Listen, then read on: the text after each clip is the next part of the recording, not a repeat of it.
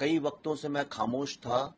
कोई भी chief minister, चाहे वो दिल्ली के चीफ मिनिस्टर हों, या किसी और स्टेट के, या बड़े बड़े जर्नलिस्ट और पॉलिटिशियंस, कभी भी उठ के बोल देते थे कि द कश्मीर फाइल्स एक प्रोपेगेंडा है।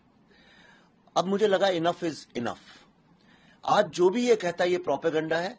या तो आके वो साबित करे कि उसमें कौन सा शॉट, कौन सा फ्रेम, कौन सा डायलॉग कौन सा सीन कौन सा फैक्ट्स गलत है, या हमारी तरफ़ से कश्मीर फाइल्स के जो प्रोड्यूसर्स हैं मैं श्री अभिषेक अग्रवाल पल्लवी जोशी जी और मैं हमारी तरफ़ से एक बहुत ही स्ट्रिक्ट लीगल आ, उनके खिलाफ हम कार्रवाई करेंगे।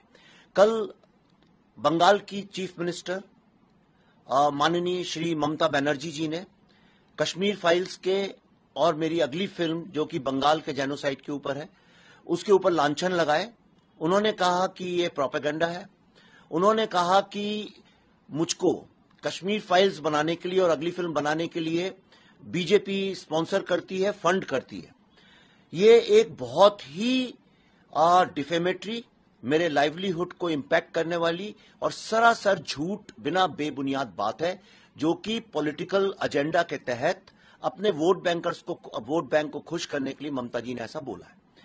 और इसके लिए मैंने मेरे प्रोड्यूसर श्री अभिषेक अभिषेक अग्रवाल जी और पल्लवी जोशी जी ने यह निश्चय किया है कि हम उनके अगेंस्ट एक कानूनी कार्रवाई करें। और आज हमने अभी उनको ये लीगल नोटिस भेजा है, आप देख सकते हैं। और ये आपके, सबसे पहले मैं आप ही को बता रहा हूँ, ये लीगल नोटिस हमने उनको भेजा है और उनसे कहा वो एक्सप्लेन करें कि उनने जो बातें कही हैं, उसका तथ्य क्या है। अदरवाइज़ ये पूरी तरह से डिफेमेटरी विद मेलाफाइड इंटेंशन और मेरी नज़र में एक आदमी की जो रोजी रोटी जो उसका लाइवलीहुड है उसको इम्पैक्ट करने के लिए आ, गलत इंटेंशन से किया गया आपको लगता नहीं आप पॉलिटिकल मोहरा हमसे जुड़े रहने के लिए हमारे YouTube चैनल को सब्सक्राइब करें और नई वीडियो की नोटिफिकेशन के लिए बेल आइकॉन को दबाएँ।